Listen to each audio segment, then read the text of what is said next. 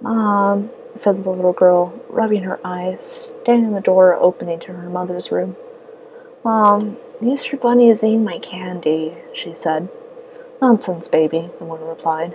Easter Bunny gives out candy. It doesn't eat it. The woman lightly shook her covers and continued to speak, halfway into her pillow, halfway to her daughter. Go back to sleep, baby. But, Mom, the girl said, the Easter Bunny is eating candy, now in a more serious tone, almost as if she was about to cry. Her mother sat up and opened her arm. Baby, I just told you, the Easter Bunny doesn't eat candy. He hands it out to the little kids.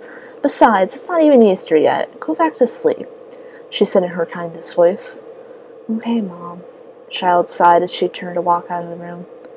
The woman sighed and thought, crazy kid with her lively imagination, went back to sleep on a whim. Out in the hallway, the little girl stood for a while, staring at the Easter Bunny eating her candy. She sighed. Mom said that I should go back to bed. The Easter Bunny replied, No deal, child. Turn around and don't look back. He flicked a shiny metal pendant at the child. She picked it up. She cried as she saw what it was. It was a dog tag and a red candy.